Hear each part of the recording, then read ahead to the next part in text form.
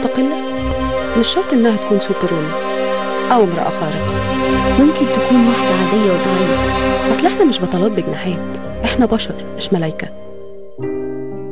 الصورة والمعنى والروح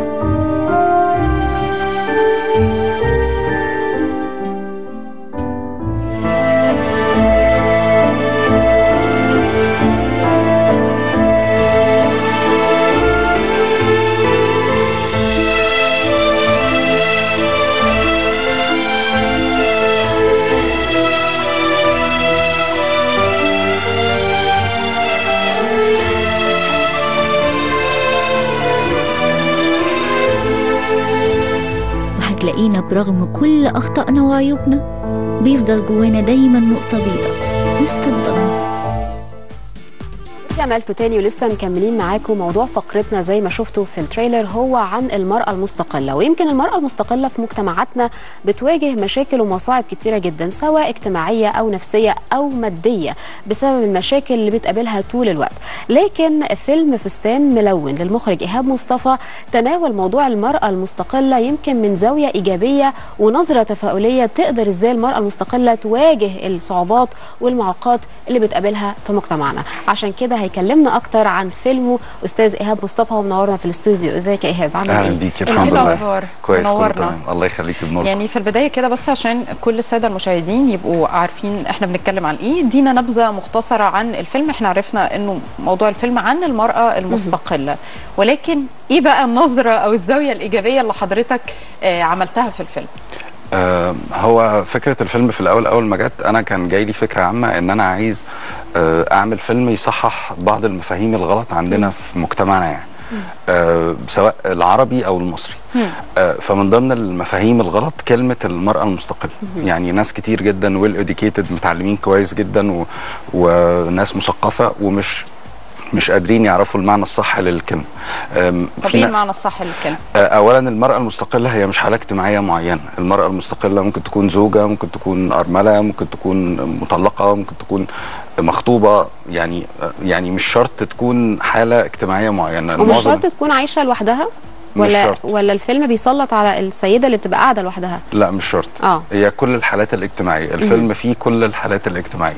الم- المرأة المستقلة بتربي ولادها آه، آه، صح بتربي ولادها على الاستقلالية بتربي ولادها على الاعتماد على النفس بتربي ولادها أي أم بتبقى عندها أولاد أو حتى لسه ما عندهاش أولاد بتبقى هي متربية صح فبالتالي بتربي صح. فالاستقلالية هنا مش معناها إن أنا واحدة عايشة لوحدها وملهاش دعوة بحاجة وبتعمل اللي هي عايزاه ومش عارف ماشية إزاي وبتعمل يعني في مفاهيم غلط عندنا في في ال- المصطلح نفسه. ده بداية كده. آه فيبقى بنتكلم عن المجتمع وعن المرأة بشكل عام والمرأة المستقلة بشكل خاص. ده بداية الفكرة جت كده يعني. يعني ده آه، أو دي الزاوية اللي فيلمك بيتناولها إنه المرأة المستقلة هي المرأة القوية اللي تقدر آه، تربي أولادها بشكل كويس وتبقى ليها زوايا كتير إيجابية. ده حقيقي. حلو قوي. طيب ليه اخترت اسم فستان ملون تحديدا عشان يبقى هو اسم فيلمك؟ آه ببساطة في يعني الفستان هو رمز للأنوثة. ده واحد. وبطلات الفيلم كلهم آه سيدات. سيدات وبنات بس يعني. آه تاني نقطة الملون أو الألوان هي جزء من الفلسفة بتاعة الفيلم وتفسير لفكرة الألوان ونظرية الألوان وإن الشخصيات ألوان وكل لون آه أو التفاؤل مثلا آه، يعني ده ده بعد تاني آه. آه. برضو. ده بعد تاني. وفي master scenes في الفيلم مهمة جدا ليها علاقة ب- بالألوان. طيب الفيلم يعتبر هو أول آه فيلم مصري من نوع الديكو دراما صح؟ يعني إيه اولا الديكو دراما و... و... وليه اخترت إن أنت تعمل الفيلم بالشكل ده؟ يعني ليه مش فيلم قصير؟ ليه مش فيلم وثائقي؟ ليه مش فيلم روائي؟ ليه مش فيلم تسجيلي؟ آه هو طبعا عشان ما نسيبش لنفسي فضل في المطلق كنوع الفيلم لكن هو يعني أول فيلم شخصيات نسائية حقيقية بطولة نسائية جماعية سيدات فقط بالشكل ده. هو ببساطة آه خليط بين ال feature film وال documentary film. خليط بين الفيلم الروائي والفيلم. التسجيلي. آه خليط بين الحقيقة والخيال. الشخصيات حقيقية ال profile بتاعها حقيقي كل واحدة ظاهرة في الفيلم بشخصيتها الحقيقية. آه لكن الأحداث آه آه فيها خيال. الأحداث زي الأفلام الروائية. ففي mix بين الاثنين مع بعض. يعني كل بنت من دول هي طالعة بتحكي حكايه بت... بتمثل حكايتها؟ بشخصيتها الحقيقية. طب إيه أبرز القصص اللي أنت بتركز عليها في الفيلم؟ آه هو أنا كنت عايز أركز إن أي واحدة تتفرج على الفيلم أي مشاهدة عادية تتفرج على الفيلم وده حصل حتى لما سافرت بالفيلم بره يعني مش بس في مصر أي واحدة بتتفرج على الفيلم تقول دي أنا أو دي أنا أو دي البطلات كلهم مع بعض أنا. آه ف فبالتالي ي- يعني ي reflect الحياة الحقيقية لكل البنات والسيدات. يعني زي إيه مثلا؟ يعني إيه أبرز مثلا قول لنا قصة نموذج واحدة، أو آه. قصة من قصص السيدات اللي عندك ال- اللي هي تدي تفاؤل لل... للناس اللي بتتفرج علينا أو البنات اللي بتتفرج علينا. آه هم 14 حالة حالة مختلفة. واحدة من ال 14 آه لو لو قلت واحدة الب... يعني هم كلهم حلوين كلهم كلهم مختلفين كلهم عاملين achievement كلهم على ال track. كلهم عاملين success stories كلهم عدوا طب معلش يا إيهاب يعني. النموذج النجاح اللي أنت بتركز عليه السكسس ده في في حياتهم الاجتماعية آه، ولا العملية أكتر ده وده الاثنين الاثنين مع بعض. ده لده وكمان حاجة مهمة جدا التأثير في الآخر. آه. عشان دي حاجة مهمة جدا. أنا أنا نفسي ماشي بيها في حياتي إن فكرة إن هم إزاي الشخص يأثر في اللي حواليه. سواء ال- ال- المحيطين بيه القريبين منه أو اللي ما يعرفهمش. آه. إنه لو اتحط في مكان يقدر يأثر آه، آه، أنتوا في مكانكم هنا بتأثروا في المشاهدين. في كل حد في بص يا مكانه. هبسطها لك عمالين عشان نبسطها إحنا لك. معظمنا ما أنا مش عايز. أحرق بس. لا مش هتحرق لنا. هقول لك على حاجة. يعني قول لنا كده ببساطة انه في بنت مثلا عندها كذا سنة كانت بتعمل كذا وعملت كذا. كذا وعملت كذا بس من غير ما تقول أسماء آه طيب هو هو في نماذج باينة قوي في الفيلم وفي نماذج آه يعني ال- الواحد بيفكر في في هي عملت إيه في نماذج واضحة جدا زي مثلا في آه بعض ال special needs أو ال special cases في آه.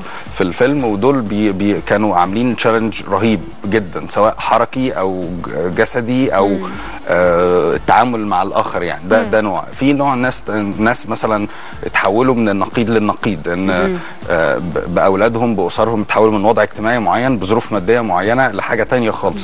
بكفاح رهيب ومصاعب كتير جدا. في حد كان الناس بصاله بشكل معين وبيقول عليه حاجات معينة آه، ال- الموضوع ده لشكل تاني خالص ولسه بيفايتوا ولسه بيحاولوا يعني. ماشي. انت متمسك إن انت آه مش عايز تقول أي حاجة؟ أي حاجة بس إحنا. مش هنطلع من الفقرة لما نعرف منك على أقول الاقل نموذج. واحد. آه. طيب آه، إيهاب أنت بتركز جدا على المرأة المستقلة.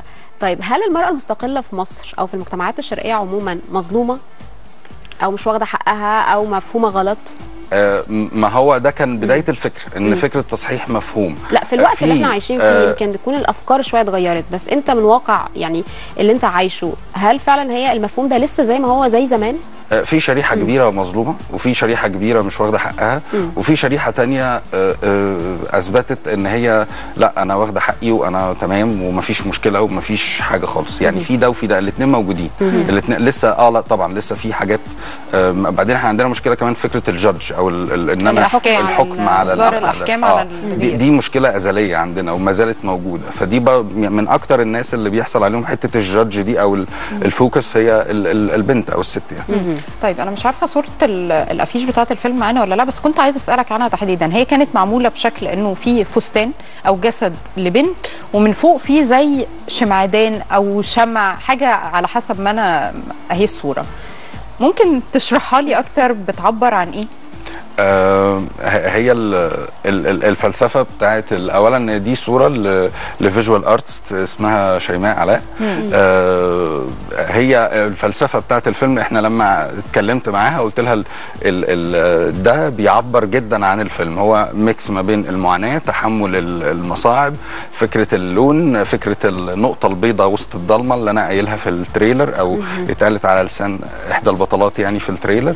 آه، فالفلسفة بتاعت الفيلم كلها في الصورة دي آه. ببساطة يعني طيب إيهاب أنت أبطال فيلمك أشخاص حقيقيين هل ده بيأثر في أداء ال- الفنان تمثيله آه، الرسالة اللي بيحاول يوصلها أو اللي أنت عايز توصلها من خلاله هل هو بتبقى واقعية أو حقيقية أكتر لما تختار ممثل يتقمص الدور؟ آه هو الموضوع ده جزئين جزء للي بيمثل نفسه أو اللي قدام الكاميرا وجزء للي بيتفرج عليه. بالنسبة اللي بيتفرج عليه الموضوع بيبقى بالنسبة لي حققت اللي أنا عايزه ال credibility بتكون. عالية جدا. مصداقية. بي- بيحط نفسه مكان اللي بيمثل بيقول أنا ده أو أنا دي أو آه، يعني بيبقى في interaction فظيع بين ال- بين الاثنين آه بالنسبة للي بيمثل واللي قدام الكاميرا في آه. الأول الموضوع بيكون صعب جدا. لأنه ما بيبقاش مستوعب أو مستوعبة يعني إيه همثل نفسي قدام دول الكاميرا. بطلات الفيلم. آه. آه آه، ده كده عشرة منه. آه فاضل هم 14 هم 14 14 آه آه. آه ففي الأول ما بيبقاش بياخد منك الوقت يعني موضوع مجهود شوية إن أنت بتعلمه إزاي يقف قدام الكاميرا إزاي يمثل هو فعلا معين. هو فعلا بيبقى صعب جدا لأن هو هو هو في ظاهره السهل الممتنع. أنا مش همثل أنا همثل نفسي بس أنا في الوقت أنا بمثل. آه. لأن الفيلم كان ميكس بين الحقيقة والخيال. ففكرة إن أنا أمثل نفسي دي فغصب عني ممكن الواحد يبقى عايز يحط ال touch بتاعه فيبقى over acting شوية فلازم ننزل شوية عن الموضوع يبقى طبيعيين فكان بياخد مجهود شوية بس في الآخر بشكرهم. كلهم يعني عملوا مجهود كبير قوي معايا. يعني. طب شايف إنه الأفلام لما بتكون عن قصص حقيقية بيكون ليها صدى أكبر؟ آه أكيد أكيد. ده يعني لما بيقول مثلا مأخوذ عن قصة حقيقية أو أو في الحالة بتاعتي بقى كان هم نفسهم حقيقيين حقيقيين. فلا الحمد لله بيبقى ال interaction كمان بشوفه في عين ال- ال- ال- اللي بيتفرج بعد الفيلم ما بيخلص على طول حتى في الندوة أو في الأسئلة أو بيبان جدا يعني. أنت أخدت وقت قد إيه تصور الفيلم؟ سنة ونص. ده مدة طويلة. آه سنة جدا. ونص. آه سنة ونص شاملة كل حاجة شاملة ال- ال- ال- التحضير التحضير. ال meetings ال workshops اللي عملناها البروفات آه، شاملة التصوير. في جزء في الفيلم كبير فلاش باك ويهمني التغيرات آه، اللي بتحصل السنية والشكلية للبطلات مهم إن هي تبقى باينة في الفيلم. آه، فكان لازم يبقى على مدار فترة طويلة يعني. طيب الفيلم شارك في عدة مهرجانات. أنا حابة أعرف منك يعني أهم المهرجانات اللي شاركت بيها آه، بالفيلم وكمان ردود الأفعال اللي جات لك عليه. هو أنا شاركت في أربع مهرجانات بره مصر وكان أول حاجة كان في فرنسا بس اللي هو كان البحر المتوسط في اتنين كان واحد اللي كان البحر المتوسط ده بيكون في نوفمبر وديسمبر وفي آه، وفي تاني المهرجان اللي بعده كان آه، في كتيفيا ده كان في ألمانيا وبعدين رحت مهرجان في كينيا.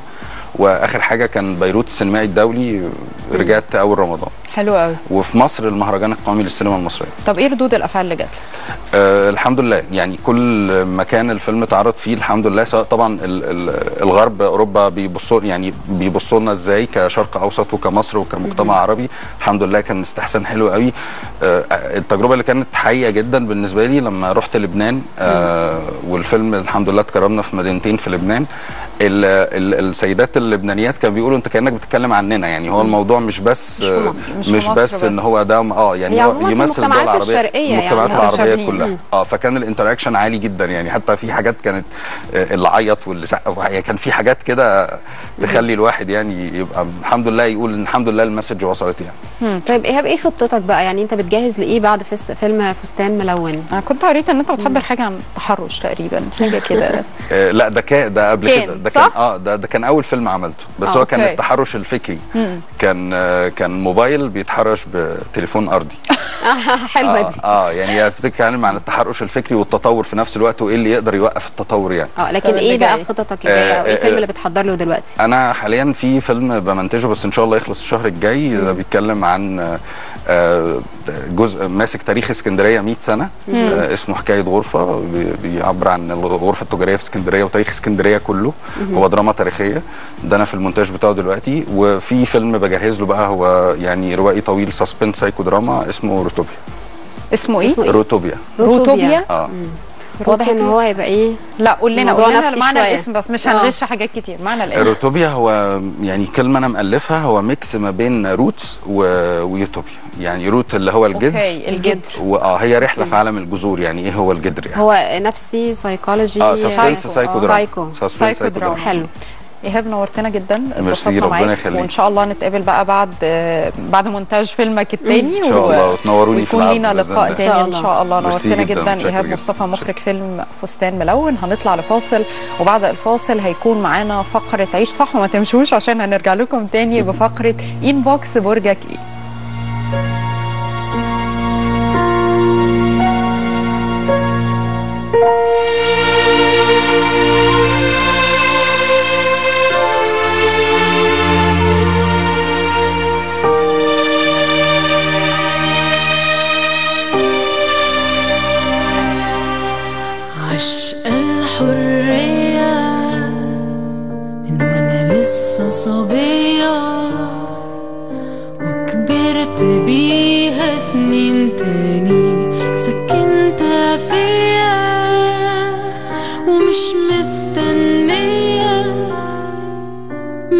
حد غير